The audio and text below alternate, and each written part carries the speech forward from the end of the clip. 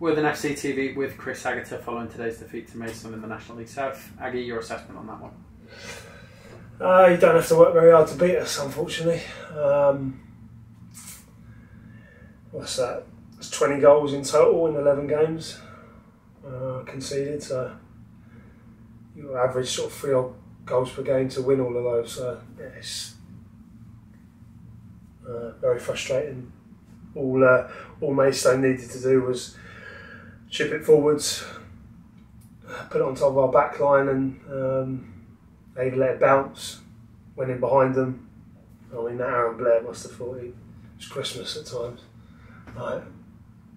Um, and if we do manage to do anything with the firsts, we don't um, don't do enough with the seconds, and that's a collective effort as well. Like um, I blame the back line for dealing with the first ball or their inability to deal with it consistently. Um, in terms of the second ball, it's a collective effort. It's not just down to the midfield players; it's down to um, the forward players, recovery running, and bits and pieces like that. Um, yeah, and, and, when you can see that volume of of uh, of goals, it, it, makes life very difficult. And um, as I said, they haven't had to work hard at all um, to win the game today. Um, but the only difference is we, unlike last year, where there was a one or two faces that could dig you out of a hole, and we haven't got them. So, you know, we need to shut up shop and. Um, you know, if we're to do anything this year, we have to we have to be better defensively. It's just, it's just, um, you you, don't win anything when you concede that volume of goals, especially with that little resistance as well. It's just not easy to play against. Um, I mean, the first goal, I have no idea what Haig's doing, um, and then the second goal, as I said, we nearly gone one-one. They've gone up the other end been direct, ball's bounced, why it's bounced, it shouldn't bounce, there's three people around it, hit the ball. Um, they pick up pieces, and then there's Sam Corne who's won his race to the back post, um, one run past them, sorry, run past a number of Worthing shirts to win the race to the back post and get the winner. The, when you had the ball today as well, it felt like Maidstone were set up really well to defend you. It felt like at times it was really struggling to find a way through. Yeah, yeah, yeah. I think we need to move the ball quicker, move it side to side. Um, more runs in behind, um, more forward passes.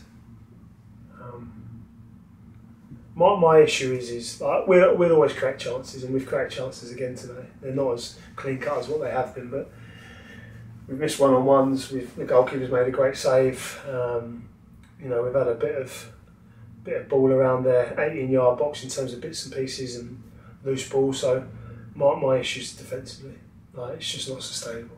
It, it's not sustainable. So we we can't draw a game nil nil. Um, we can't grind out a one 0 win just because we just are. Um, yeah, we're uh, we're not performing as well as I think we should be in defensive areas. The, the, you've mentioned it already, but the moment where Mo Fowl goes in, lobs, lobs the keeper and it bounces up against the crossbar, uh, and then a sucker punch really straight up the other end and, and, double their lead. How sort of disheartening was that moment for, for the squad? Um, yeah, frustrating, no doubt. Um, but we're not kidding ourselves. Like we're we're not sitting there thinking we're unlucky to lose today. Like if we got the equaliser, we wouldn't be sitting there going, "Oh yeah, we've cracked it." No, we just, yeah, no, it wasn't. I don't. I didn't feel like it was a sucker punch. I didn't sit there and sort of go, "Oh yeah, I didn't see that coming," um, because as I said, the opposition don't have to do much to to um, cause us problems. To be honest, like I said, Maidstone were direct, um, put the ball on top of our back line, and we didn't do it either the first or second ball. So that's all you need to all you need to do to beat Worthing, unless we can find another four goals from somewhere. And you're not going to do that every week; it's impossible. And looking ahead now, Welling at home here on Tuesday, a chance to bounce back. Yeah, Yeah, it's uh, you know we we've got a couple of couple of game in, games in hand over a couple of teams. Um, yeah, I- to be honest, I'm not looking too far beyond um, Welling. Uh, we just we just have to iron out our defensive issues now, whether that is changing shape, whether that is changing personnel. Um, it's difficult because what you don't want to do is nullify what you are good at. So we're good going forwards, we create a lot of chances, we score a lot of goals. Um, and I think that's been proven over the 10, 11 games. Um, so what we don't want to do is because there's a few back there that can't do the basics, like head the ball and get the cover on. Right. When someone shapes up to launch it forwards, it's probably going there, so you need to drop off. Do you know what I mean? Like you need to drop off, you need to work your feet, you need to. Like, in worst case, it drops in front of you. It can't go in behind you.